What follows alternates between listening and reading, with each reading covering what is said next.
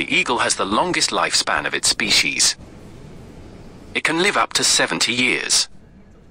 But to reach this age, the eagle must make a very difficult decision.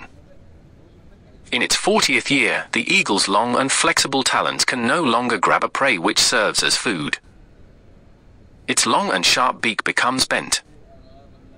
Its old-aged and heavy wings, due to their thick feathers, stick to its chest and make it difficult to fly. Then, the eagle is left with only two options, die or go through a painful process of change. This process lasts for 150 days. The process requires the eagle to fly to a mountain top and sit on its nest. There the eagle knocks its beak against a rock until it plucks it out. Then the eagle will wait for the new beak to grow back after which it will pluck out its talons. When its talons grow back, the eagle starts plucking its old-aged feathers. And after this, the eagle takes its famous flight of rebirth and lives for 30 more years. Why is change needed?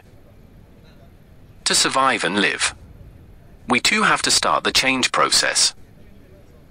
We sometimes need to get rid of the unpleasant old memories, negative habits, and our fixed mindset. Only freed from the past burdens can we take advantage of the present.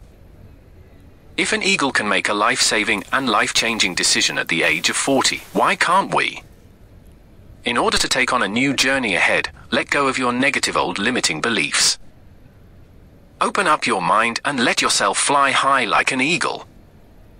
When it rains, all birds occupy shelter. But the eagle avoids the rain by flying above the clouds. The problem is common to all, but the attitude to solve it makes the difference. Don't be afraid of change, accept it gracefully.